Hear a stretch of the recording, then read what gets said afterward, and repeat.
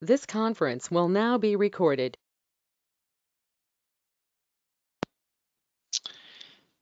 Good afternoon and welcome to this uh, webinar.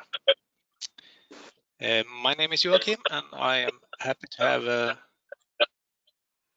Thomas with me as well. I got a small echo here. I will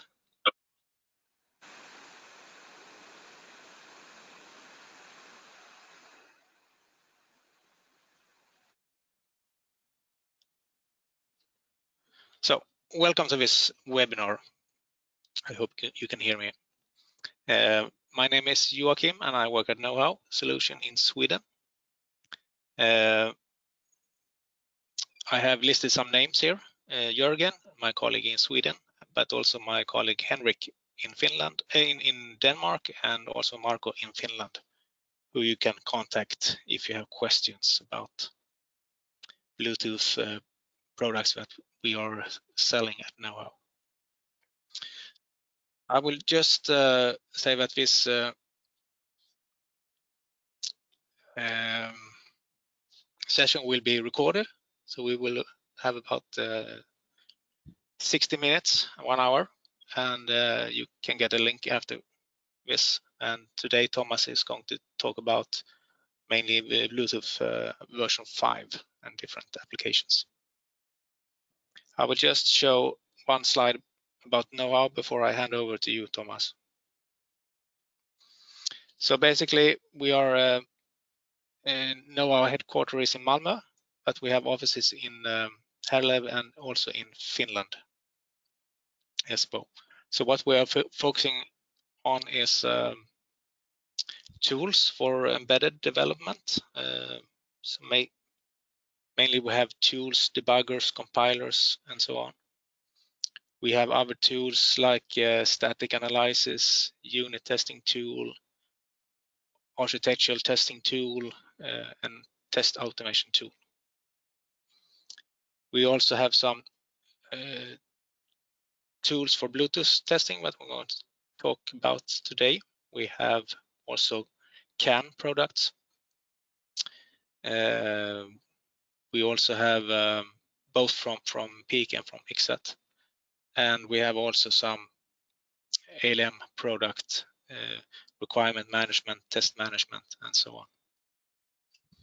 So that was very shortly about Nohau, and you can co contact us anytime.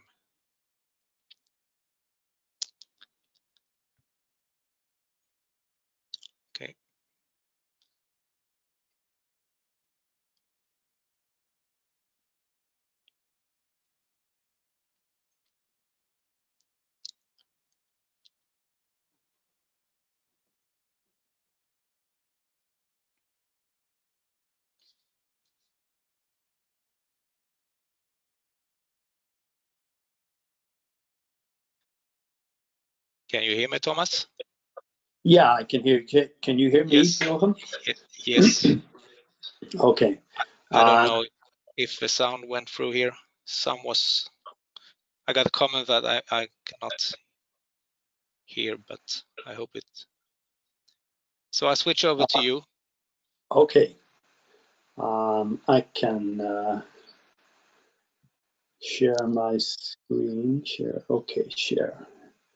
Okay, you can see my screen now, can you? Yes. Okay, uh, well, thanks for the introduction, Joachim. Um, my name is Thomas O'Reilly and uh, I work with Teledyne LeCroy. Um, Teledyne LeCroy is uh, the name of the company today, but it used to be called Frontline Test Equipment and uh, Teledyne LeCroy bought over frontline test equipment in 2016.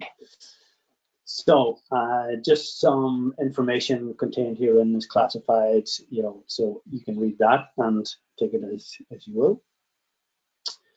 Um, Thomas? Somebody, so, yeah, somebody can't hear. Yeah. Um, Let, let's see.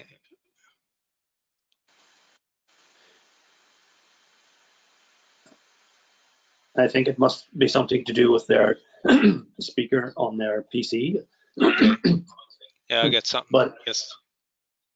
But Yeah, let's go, let's um, continue. Uh, Okay.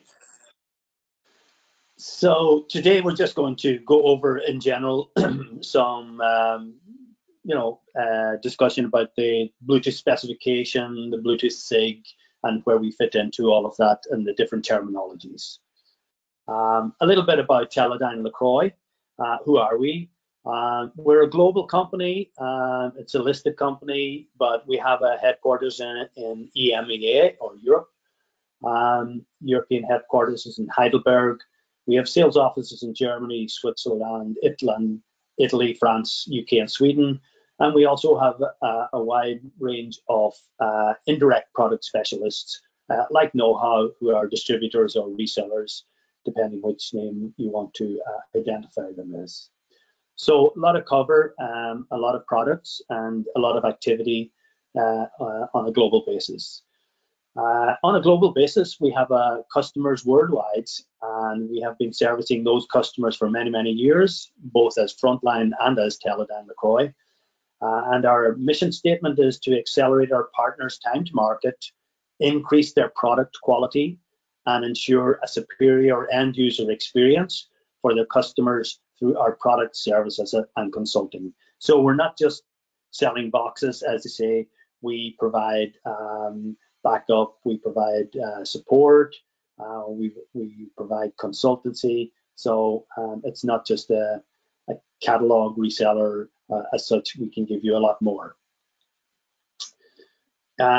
Uh, Teledyne Bluetooth expertise, we've been uh, in the Bluetooth business since the beginning.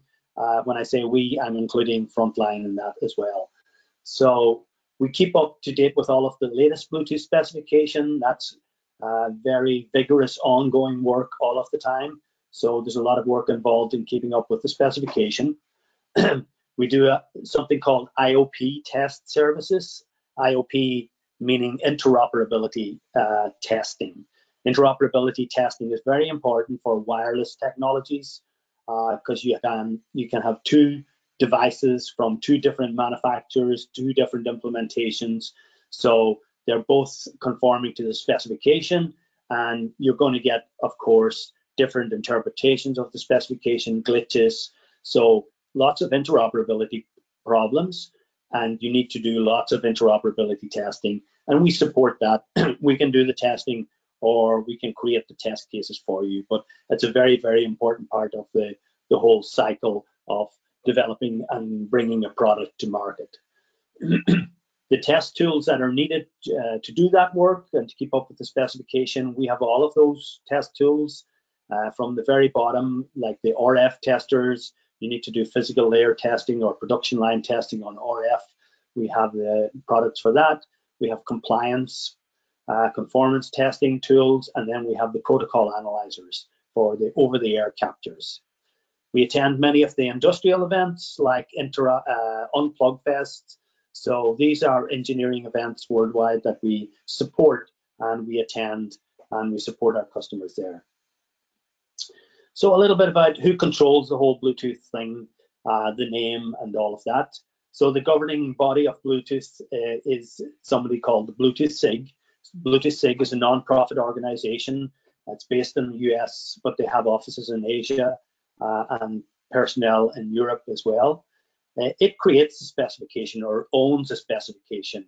Uh, the guys who create the specification or the working groups, uh, these are all different people from different companies that are part of the Bluetooth SIG uh, and they they create they spend a lot of time and a lot of resources creating the specifications and what they get out of that is they can drive the specification towards um, their markets. Um, approved device for conformity conformity to specification. So you need to uh, if you have the bluetooth logo this is the bluetooth logo. If you have that on your device then you need to uh, conform to the test cases and all of that. And Bluetooth SIG have a something called Launch Studio, which uh, enables you to do self-testing on some of the profiles. Um, they also Bluetooth SIG also sponsor interoperability events. These are what we call the unplug fests, UPFs. There's usually three every year, one in North America, one in Europe, and one in Asia. And we as a company attend those events and support those events. Typically, those events would hold maybe up to 300 engineers from around the globe, and they all sit for one week testing face to face their implementations uh, to iron out any bugs. Uh, it's a closed event, but an engineering event, but a very important event. Then uh, about the Bluetooth SIG membership, uh, and you know, and uh, the working groups. So the membership is uh, roughly evenly divided around the world. in America, it's 34% listed companies. APEC and EMEA, uh, you know, you could say 30, 30, 30, 30% um, a third uh, Asia, uh, Europe, and um, America. So it's growing all of the time. Every year we're getting new members attending the Bluetooth SIG. So uh, right now in 2018, which is some time back, there were 34,000 uh, companies registered. Then the working groups, there are 15 different working groups. So you could have a working group for hands-free car kit. You could have a medical working group. You could have a uh, audio working group. So there are different 15 different working groups uh, for diff 15 different sectors of interest. Um, so lots of people, lots of uh, work going on there, and uh, there it's, uh, it's free to sign up and become uh, part of those working groups but you do have to be registered with the Bluetooth SIG, uh, and there are different level levels of membership there. Uh, devices, so the market is very strong for Bluetooth. It's growing exponentially every year. Uh, you can see year on year we have different um, Bluetooth uh, increase in the market and shipments and devices. Um, then uh, this graph on the right hand side is showing us a little bit about uh, we're going to talk about the different types of Bluetooth specification. You have Bluetooth low energy, you probably heard about that. So 90% of all Bluetooth devices will include Bluetooth low energy by 2023. Uh, Classic or BR-EDR has been around for a very long time, um, so that's still growing. Uh, and the annual Bluetooth low energy single mode shipments uh, set to triple. So low energy is the one that's growing fastest. So you can see here on the graph, BR-EDR is blue, uh, BR-EDR plus LE, that's what we call dual mode, and LE, LE is this exponential growth rate here. Classic is stabilizing here, and the dual mode, which would be classic and low energy on one chip, um, is also growing. That would be because that's in the mobile phones. So how and where does it work? Um, so it's basically uh, conception came in 1994. Uh, the three first three companies that came together were Ericsson, Nokia, and IBM. Uh, and basically, they wanted to make the the phones talk to the PCs without a connection. They wanted a wireless connection. So intended as a wireless communication to replace RS-232 cables. Um, it's in the ISM band. Uh, that's a free band worldwide, so that gives it a huge advantage. Um, there are two standards, classic and low energy. Uh, there are the two specifications. We'll talk more about those. It, it, uses something called adaptive frequency hopping. I'll talk a little bit more about that. AFH, it's important, uh, and it makes the um, makes the technology work very well in a busy, noisy environment it's good for what something we call coexistence. Um, the classic Bluetooth hops on 79 channels, one meg wide channels, and low energy uh, uses 40 channels. So there's totally different. Classic cannot talk to low energy, or low energy cannot talk to classic, but um, a device could hold both. And the specifications are controlled by the Bluetooth SIG, uh, as we mentioned, and the, the latest specification is something called 5.2. And all of the versions are backward compatible. So if a 5.2 device is talking to a, a 4.0 device, uh, they'll fall back to the 4.0 specification. So it's all backward compatible.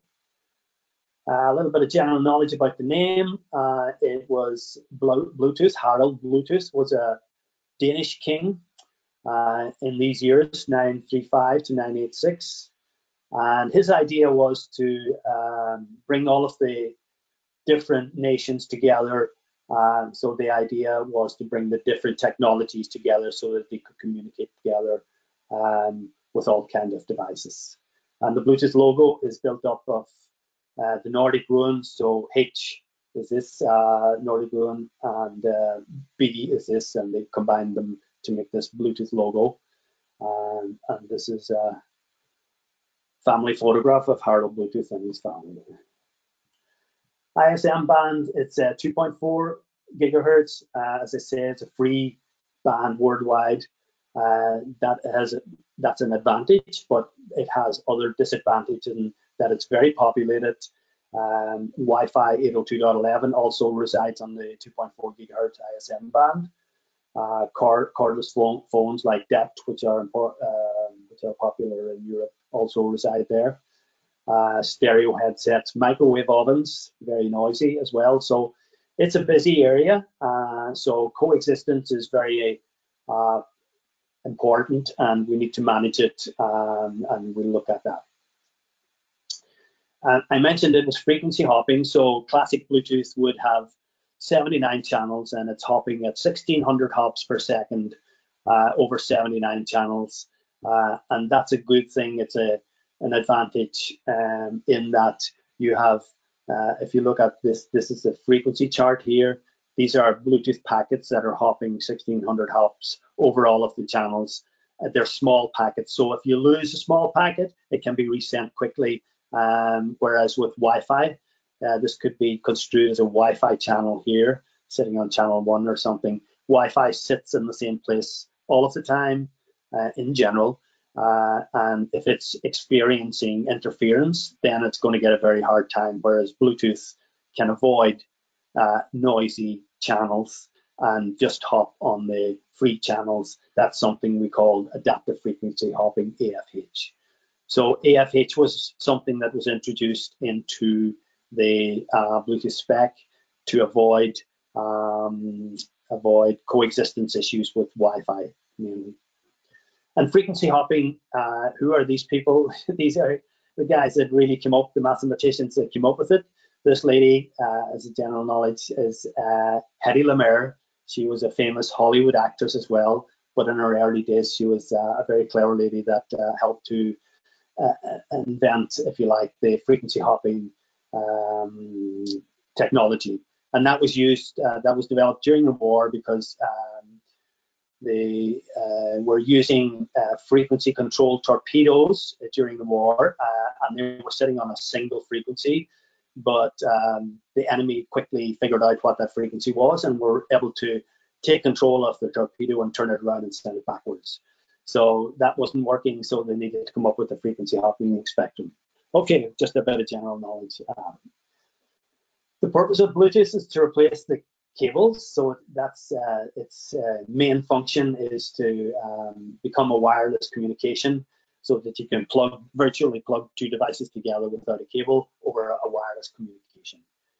Uh, and the other goals were low cost. Uh, you wanted a low cost chip, low power, and short range. So it's it's and it's mainly peer to peer. in general, classic Bluetooth, Bluetooth certainly is peer to peer um, device to device uh, and within within a very short range. And I can remember when Bluetooth was being developed, they were talking about a five dollar chip, and in the early days that was deemed as impossible. But of course, as you know now, that uh, Bluetooth chips are uh, below the one, well below the one dollar mark. So a, a great achievement, uh, and that's why it's so popular. So Bluetooth evolution uh, first of all, we had what we call classic Bluetooth. Classic Bluetooth and BR and EDR mean the same thing. Uh, people use different names. Uh, so basic rate, enhanced data rate, two different versions of the first uh, version of Bluetooth, the classic version. And then uh, later on, we developed a low energy specification. Uh, the low energy is not to do with transmission energy, it's to do with battery power consumption the energy on your battery. So we needed a coin cell battery, low power consumption, low battery power consumption, And that's what low energy is all about. Um, and the main function of the specification, I always think of low energy, is to turn the radio off. Um, and when the radio is off, you're saving power. So sometimes I'll refer to as 4.0, Bluetooth version 4.0 or BLE, Bluetooth Low Energy. 4.0 introduced the Bluetooth Low Energy specification, but 4.0 also includes BREDR specification. So both are combined in, uh, in only one specification. A dual mode chip supports classic and low energy. So most of your mobile phones will have a dual, dual mode clip uh, or a dual mode chip. That means they can both do classic and low energy all on the same chip, all on the same radio. And that's another huge advantage. You don't need to have a new radio for the new low energy specification. Uh, suited to devices that need to transfer small amounts of data and frequently uh, now includes Bluetooth 5, 5.1, 5.2 specification. We'll look at those specs and what they bring uh, further on.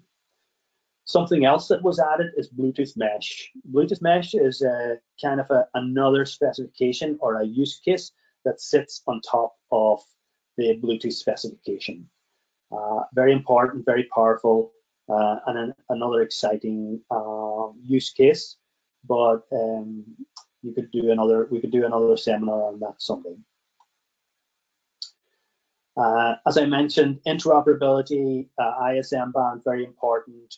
Uh, many other devices use the ISM band 802.11b, G, and M. This is Wi-Fi uh, and the cordless phones. And here is an image of a spectrum, a Bluetooth spec, uh, uh, uh 2.4 gigahertz spectrum, and I'm showing you here a heat map of the energy level in the background from a sniffer. Uh, this would be channel 37, channel 38, channel 39 over time. But you can see the blue energy is non-Bluetooth traffic in the background. So it's a very noisy environment.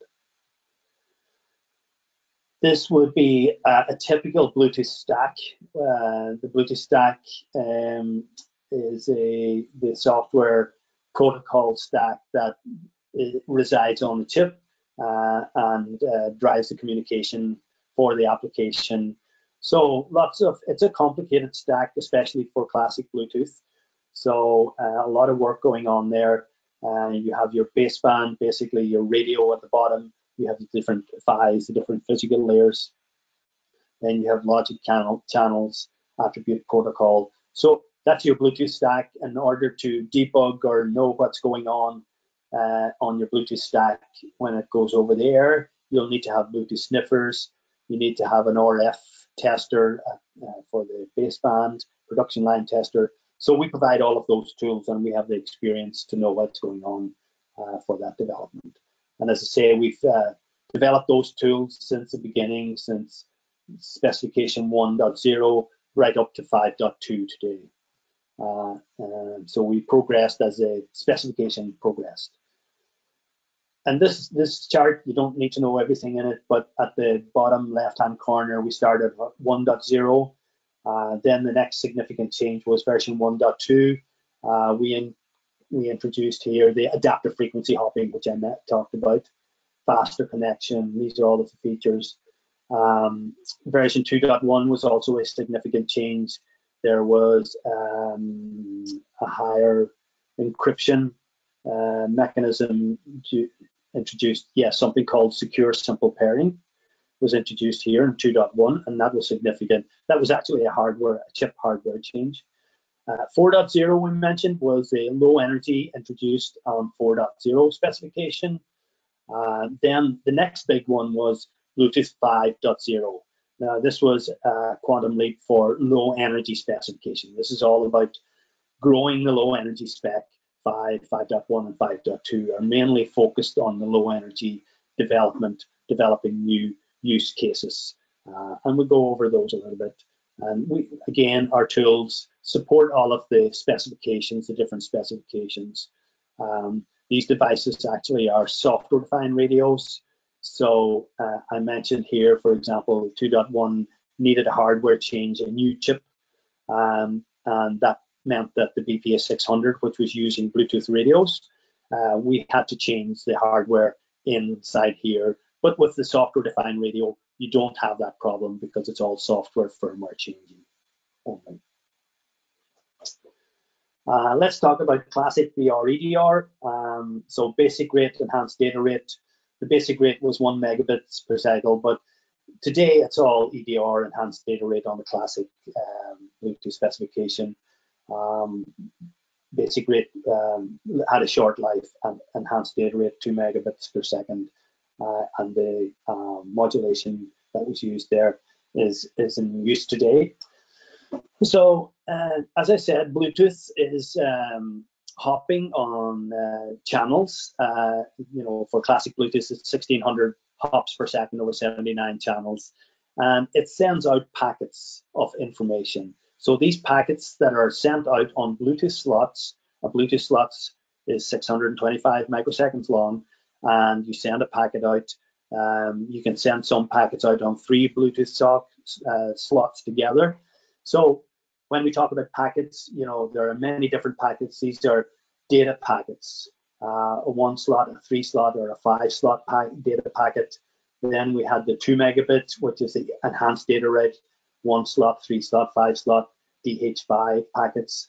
Um, then, for example, you had uh, what else? Yeah, so for if you have a lot of data to send out, you'll be sending out a lot of 3DH5 packets. Uh, if you don't have much data to send out, you could revert back to DH1 packets, which is a much smaller um, packet and a much smaller data rate. We have other types of packets called ID packets, null packets, poll packets. Null and poll packets are really packets that are sent between the devices. The master will send uh, one to the slave, and the slave will send another one back. Uh, and these are just for keeping the Bluetooth clocks in sync between the two devices. ID packets are identification packets. When you want to connect to a device, you send out ID packets and you say, uh, I, I, want to connect to you and this is my address. Uh, an FHS packet would be a frequency hop select packet. That's a very important packet. Uh, when two devices are making a connection, uh, there, there's one FHS packet sent out, and inside that packet is the hopping sequence, the hopping sequence that the network is going to use, what we call the PicoNet is going to use. Um, so for a sniffer, uh, if we don't get this FHS, FHS packet, we don't know the hopping sequence of the PicoNet and we're out. Then these HV and the, uh, all of the V packets, these are voice. Um, so there's a different type of link used for um, what they call a SCO channel uh, for voice. If you're making a phone call, then you use these voice, uh, there are lower data rates. So as you can see, it's quite complex, lots of packets, lots of different types of packets. Um, so that's, uh, we're moving on to the profiles. Just before we go to the profiles, uh, we talked about Bluetooth Classic and Bluetooth Low Energy. So you know, Bluetooth Classic is used for streaming applications, applications such as audio streaming, file transfer, and headsets. So it's got a higher data rate, um, and that's when you, but it uses a lot more power. And the low energy would use uh, sensor data, control of devices, and low bandwidth applications. So if you don't have much data to send, low energy is a good uh, application for that, for sensors. Um, Classic is not optimized for low power, um, and low energy is meant for, for low power, low duty data cycles, low power consumption. Um, Classic operates over 79 RF channels. Uh, low energy only uses 40 RF channels, but they're twice twice the width. Um, discovery occurs on 32 channels. So when you're looking for a, another searching for another device, you can search it. Uh, you're searching on 32 channels, and then uh, when you hit on a channel that your device is also on that you're looking for, then you connect. Uh, on low energy, it's much faster. There are only three advertising channels, so we can connect much quicker. So that's kind of the, the different changes uh, from classic to low energy. So when we talk about profiles, um, you know, what's the difference between profiles and protocols? The protocol stack uh, is always used. It's something that's built into the um, into the chip via software. uh, profiles like a use case. Um, uh, so profiles uh, are called services. So um, in order, to, if your device supports a profile, then you have to adhere to the profile specification. Um, you have to list what uh, implementation uh, your conformance statement. You, you have to tell uh, when you list it, you have to show the PICS, what they call the PICS, uh, and show you what it supports. And also the profile test specification, you've got to pass the testing for that profile.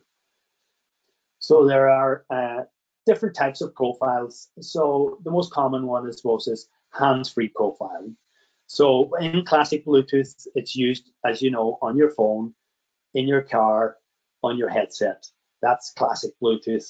Um, that's been around for a very long time, uh, and uh, it works very well. So the headset profiles are used uh, with mobile phones. Uh, the headset profile was the first introduction, if you like, and then it moved on to the hands hands-free profile. So it's it, it encompasses the headset profile. So it's all hands-free profile mainly today, and the hands-free profile. Uh, the difference between headset profile and hands-free profile is hands-free profile can do things like number redial, call waiting, voice dialing, all the things that you do when you're uh, in your car managing um, phone calls. So that profile, if this headset is registered as a Bluetooth device, uh, it has to list that device, it has to pass all of those tests uh, as per the specification. The radio has to comply with the specification. You know, so there's a lot of testing to do. You need to do interoperability testing, testing with that headset because there are many, many uh, different types of implementations in the automotive industry. So you've got to do all of that. Uh, there's also a profile called the HID profile, Human Interface Device Profile. And this would be for keyboard and mouse. Um, and it's based on computing industry standard human interface device specification.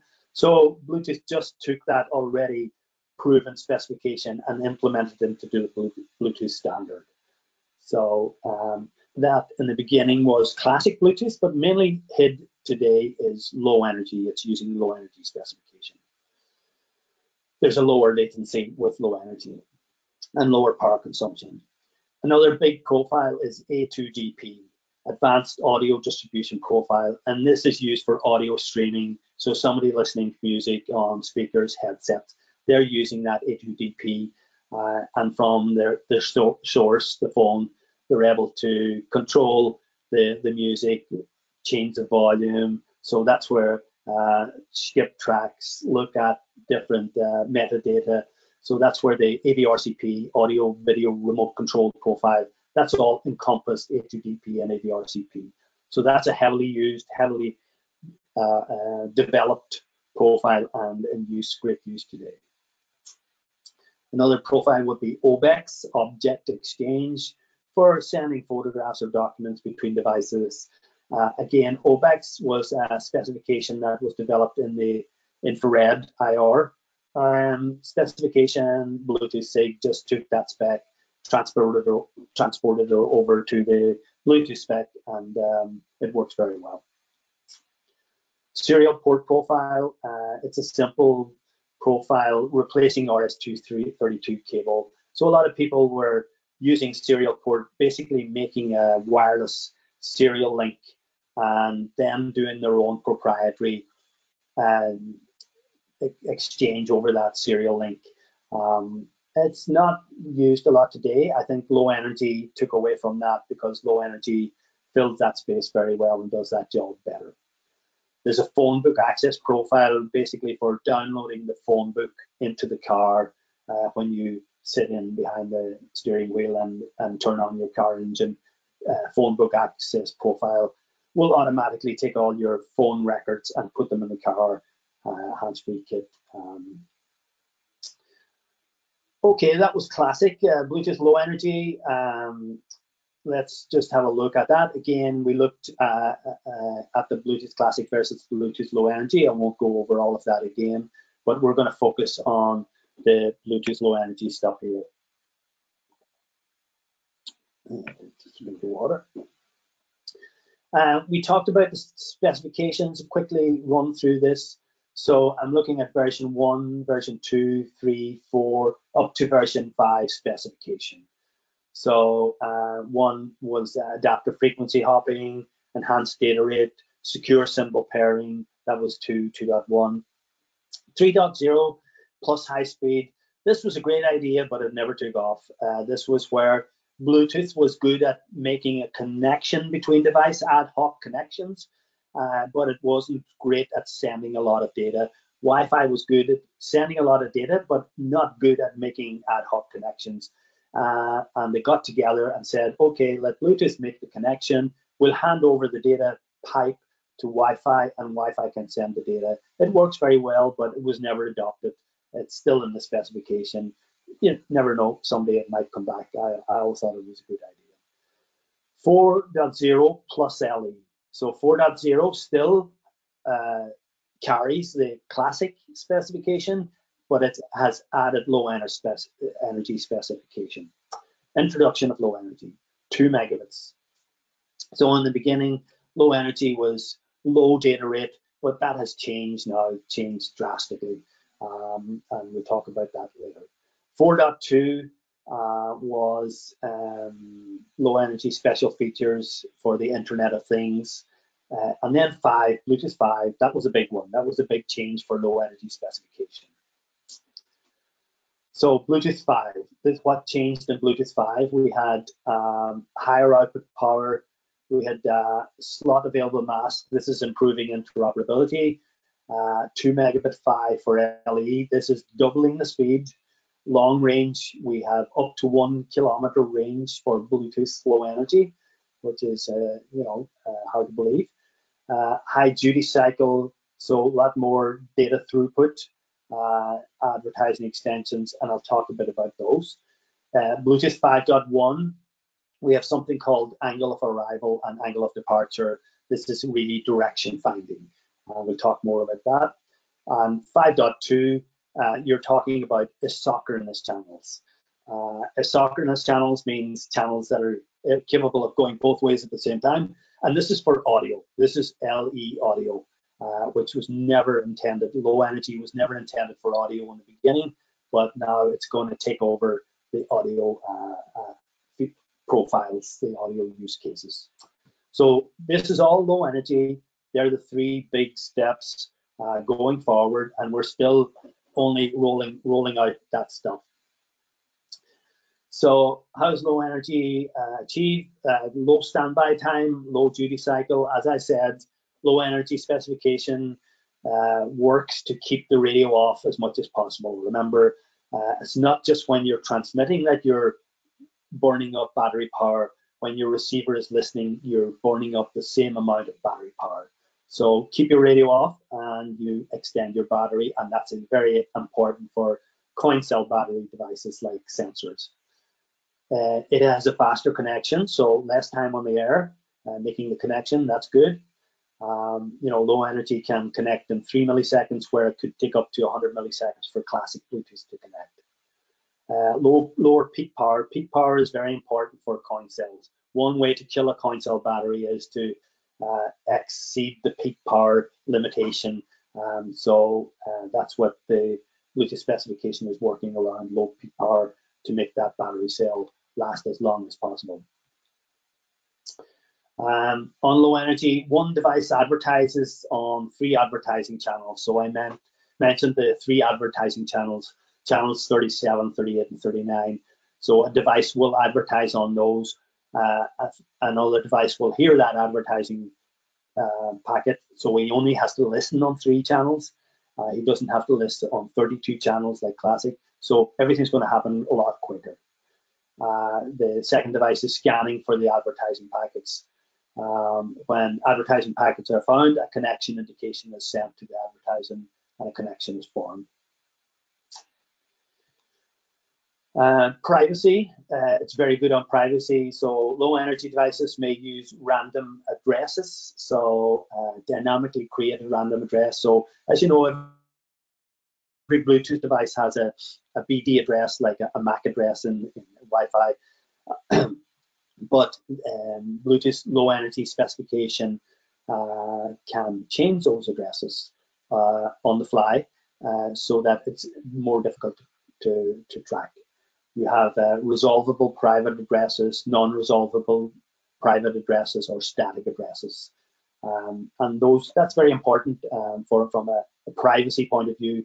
Uh, for example, uh, iOS devices change their LE address every 15 minutes, so um, it's hard harder to track that. I'm just going to quickly show you a, um, poster that we can share with you, and it's just giving you an indication of all of the different types of addresses that are used on Bluetooth Low Energy, and uh, uh a flow chart here explaining uh, how, how, they work. So that's quite useful. But um, we can uh, we can share this poster with you um, later later on.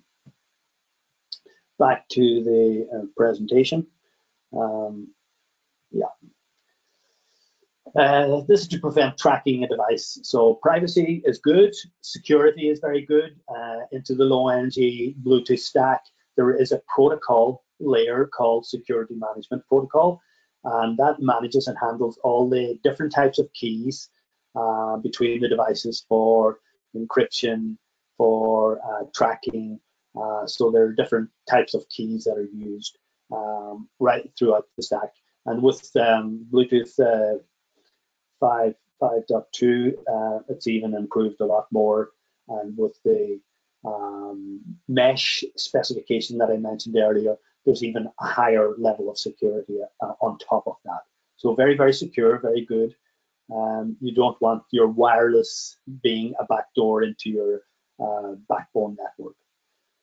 Um, there are four associated models, just works, numeric comparison, out of band, and passkey entry. So when the two devices are uh, pairing or um, communicating, uh, you have something called just works that's um, not very secure, but uh, it's handy. It works uh, as a as a written just works. The, the two devices connect. You do have encryption. Numeric comparison. You can look at one device or the other and uh, confirm the, the numbers that are showing. Out of band pairing. That's something that's using out of band outside the ISM band. So a use case for that would be a headset and a phone. They could use um, um, near field communication, NFC. Uh, if you touch the headset, headset with the phone, NFC will start the pairing process and Bluetooth will complete the pairing process. So you have two technologies completing the pairing process, the creating keys, and that's very secure. So when two devices are paired, what they paired, they know each other. There's something called a long-term key, LTK, uh, and in classic they call it the link key, but it's the same thing. Uh, many LE connections are not encrypted, um, but I think that's changing uh, where they, I, I, mentioned before on the mesh specification, encryption is mandatory. Um, so uh, it's good to use encryption. But maybe for a, a, sensor, a temperature sensor on the wall, maybe they don't use encryption, you know, who cares? It's only telling you the temperature. Uh, it's equivalent to secure simple pairing. Uh, secure simple pairing was um, uh, a type of, uh, it was a, an improvement in the pairing and the encryption for classic Bluetooth. Um, for Bluetooth 5, uh, I mentioned Bluetooth 5 was a, a, a, big change in the low energy specification. What did it introduce? It doubled the rate. We go to 2 megabit LE. We have long range uh, LE up to one kilometer, these different five physical layers, coded PHY, LE advertising extensions.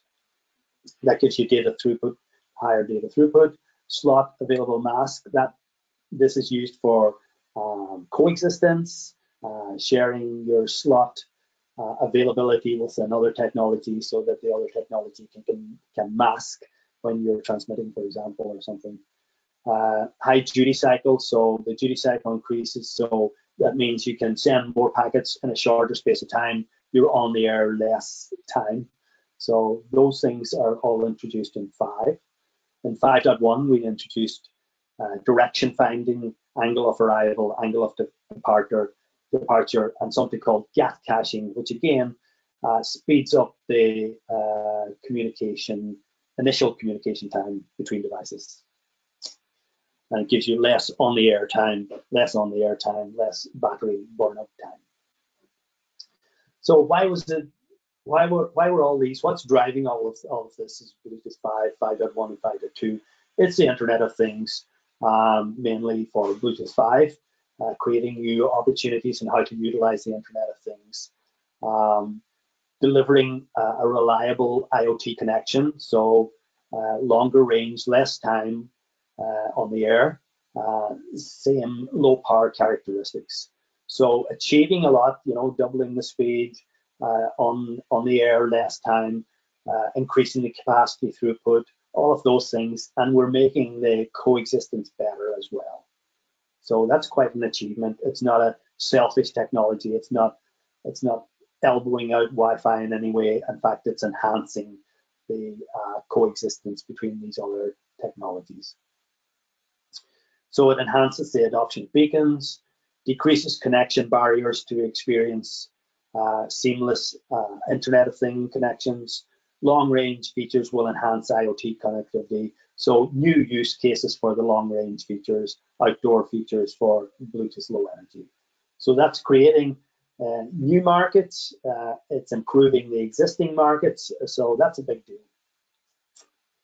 So what type of markets are we in? We're in sports and fitness, assisted, assisted living, uh, consumer medical, security, home industrial automation, advertising malls, you know, you name it, uh, anywhere where you want to have a robust, uh, ubiquitous standard Bluetooth uh, wireless standard. Uh, and, you know, the big, almost the big plus for Bluetooth was that it's in the mobile phone. It's in there already. The chip is in there. You didn't have to introduce a new chip uh, when you introduced a new low energy specification. Uh, it's just introducing a new stack uh, onto that same chip. The chip can use a classic stack or the low energy stack, or it can have just a, a low energy stack on a single chip. So ubiquitous, I mean that by that found everywhere. Uh, you know, it's in the mobile phone, and there are lots of mobile phones around the world. So that means uh, applications on the other side of the phone, um, devices uh, can be controlled from applications that reside on the phone, and you have a ready-made, uh, proven technology standard worldwide, free free band worldwide to to do that. So um, and it's got uh, coexistence includes updates that enhance coexistence with other technologies. Um, so it's already there. The technology is already there. It's just um, you have to come up with the use cases and the devices uh, to utilize that to its best. So Bluetooth 5, I mentioned, uh, double the speed of the low energy specification. So 4.0 was one megabit per second. Uh, Bluetooth uh, 5 has low energy specification of 2 megabits. Longer range, four times the range. So they introduced something called coded PHY. It's a lower data rate, uh, but it can go down to as low as 125 kilobits per second. So low data rate, long range. You're not going to do high data rate, long range. Um, there are, uh, you know, trade-offs when you go into a use case for long range. Um, greater 800% into increase in message capacity. So that's that's massive increase in data throughput that you can uh, do on low energy Bluetooth 4 compared to Bluetooth 5 and imp improve the Bluetooth interoperability coexistence. So Bluetooth 5, big change. Uh, we're still seeing the effect of it. Uh, it's still being rolled out, um, but uh, I think it um, it will have a, a, significant change on the use cases and the devices out there. So just to go over those points, double the speed uh, will support faster data transfer over the air. And that means less time on the air as well, more responsive apps, uh, more responsive uh, HID devices, faster update of sensor information. Um, so lots of uh, better improved uh, functionality there. The longer range, quadruples the range, uh, you know, industrial cable replacement, truck weighing scales, outdoor activity mainly, pipe leaking detection devices, anything over the water. So um, new use cases uh, where um, construed there, and the, the specification was developed to, to drive those use cases. Uh, higher message capacity, so Bluetooth 4.0, low energy, uh, the data, it started off as a low data rate, but uh, that quickly grew into something that was not sufficient and we needed a higher data rate. So they were able to do that very cleverly on the specification. They increased the uh, data, the payload from 37 octets to 255 octet packets. So they've done that cleverly and it works very well. Um, so uh, the ability to offload advertising packets from the three channels. So what they basically did was uh, instead of uh, only having three channels to um, advertise and um, send data on uh, without making a connection, you can offload the advertising channels to the other 32 channels or the other 37 channels. Uh, if you remember, there's 40 channels in the warranty. So uh, it's a clever way of increasing your data throughput. And then the, the, the slot available mask and all of those, that's basically improving coexistence. Uh, it makes the technology work better with Wi-Fi, DECT, ZigBee, uh, any of those other 2.4 gigahertz technologies that are out there. So better overall overall interoperability. So Bluetooth 5, as I say, was a, a quantum leap. It's uh, um, it's a big improvement, a lot of work, um, but it will um, make things a lot better. New IoT mar market, low latency, scalability. So I'm talking here about the mesh specification. So the mesh specification is a separate working group, a separate specification that sits on top of Bluetooth 5 or Bluetooth 4 or whatever, either either one of the specifications, 4 or 5, low energy or classic. So uh, the main thing it is it's it's replacing or not replacing, it's moving into the wireless network space. So very large wireless networks. Uh, that space was never very well served. Uh, I would say that ZigBee was in that space. Uh, it never really uh, mushroomed as a as a technology in that space. We think that Bluetooth Low Energy Mesh uh, or Bluetooth Mesh specification has the uh, learned from you know the previous wireless network specification. Uh, it has the low latency. It certainly has the scalability. You can scale it up. Um, minimum power consumption. It has a very high security level. Um, so what's that space, I would say. 5.1 specification. So now that we have all of the technology enhanced features of 5.0, we can move ahead with new use cases. What 5.1 basically brings is something called angle of arrival and angle of departure. This is really all about uh, direction finding and asset tracking. So um, direction finding uh, until 5.0 Bluetooth Low Energy already allows location services via proximity. So you were able to sort of roughly guess maybe where a device, how far away a device was. There was something called RSSI, which is a receiver signal strength indicator. That's the signal strength at your antenna. So if it was weak, you know your device was probably far away. If it was strong RSSI signal level, you knew it was close. But you didn't have a good indication of what direction it was in. To determine the angle, angle between two devices directly, Bluetooth supports two methods to do that. We have one method is called the angle of arrival, and the other one is called the angle of departure. Now, this is all very complex stuff, mathematical stuff that's in these two use cases. You can learn more about here uh, if you want, but uh, generally speaking, uh, in a short introduction like this, let's have a look at angle of arrival. So here we have the transmitter, that could be your mobile phone moving device. So it has one antenna, single antenna, and it sends out the AOA uh, packet from the transmitter. And then you have a receiver in a fixed position. And you have an RF switch here, which has an array of antennas. These are small antennas, maybe a wavelength or half a wavelength apart. Um, so you know, not taking not big antennas. This this is a small, relatively small area space. So this uh, packet that arrives on the array of antennas will have a different angle of arrival on each antenna, and from that information, there will be IQ information uh, inside the packet, data inside the packet, and we can determine from that data which direction, uh, what angle the device is coming from, or where, what direction it's in. So that's one use case. Angle of departure is kind of the opposite. Um, so you could have a, a fixed device is the transmitter, and he's sending out the AOD packet, and the moving device, the receiver here, we can get those four packets coming with four different data information and we can determine from that data inside those AOD packets what direction that fixed position is in. So there are two use cases uh, for, you know, one is for asset tracking, another one is for uh, position position finding.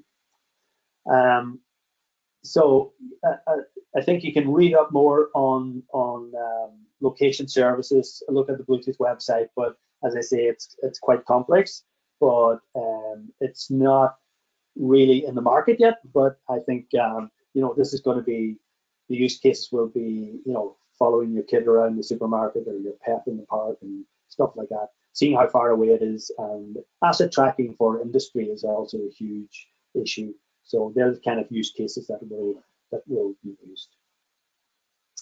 Then 5.2, so that was 5.1.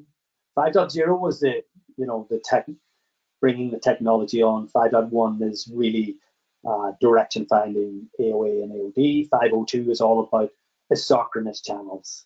Isochronous channels means cha audio channels that are going in both directions at the same time. So in the beginning, low energy was, you know, not for audio. It didn't have the capacity, didn't have the data rate. You know, you wanted to save battery power not a use case. Audio was out.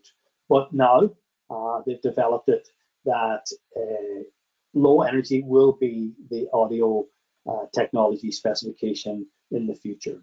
So um, here we have like this is just a simple view. This could be a mobile phone. These are the synchronous channels here. So you have a headset and a phone.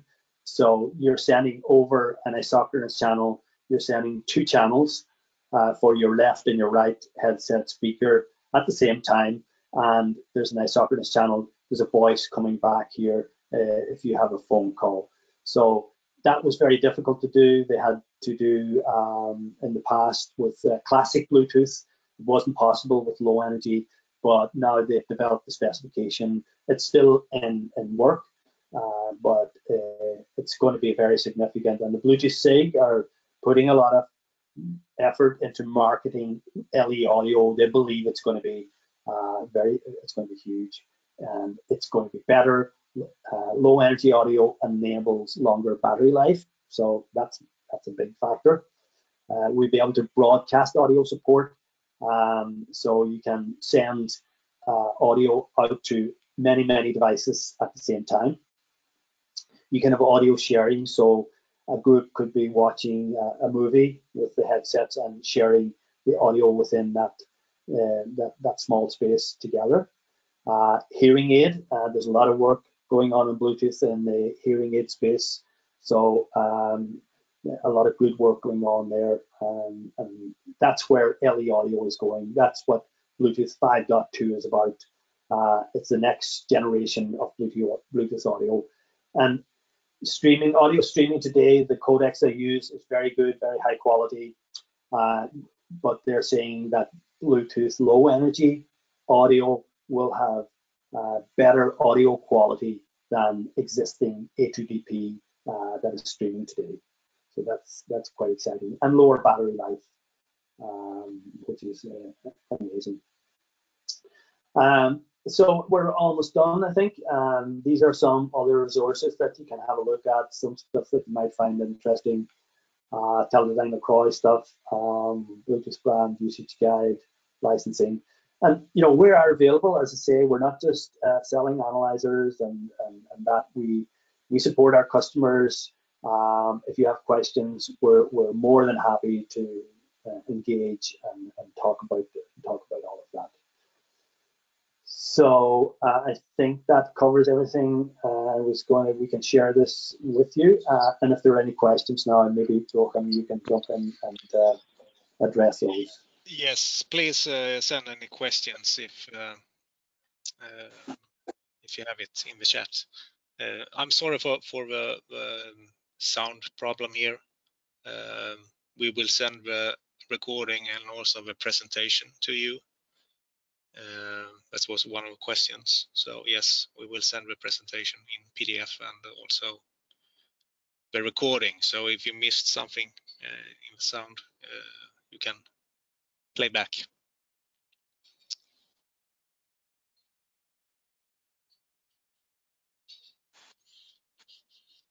Any more question?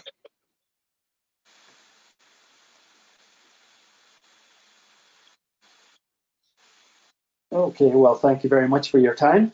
Yes, thank you, Thomas. Um, it was very good, except for, for some sound problems in, in, the middle there. I think it was very good. Okay. So uh, have a, a safe uh, or a safe evening at uh, Green Island. Okay. Okay. Okay. Okay. Thank Everybody you. keep safe. Thank you. Bye. Uh, thank you.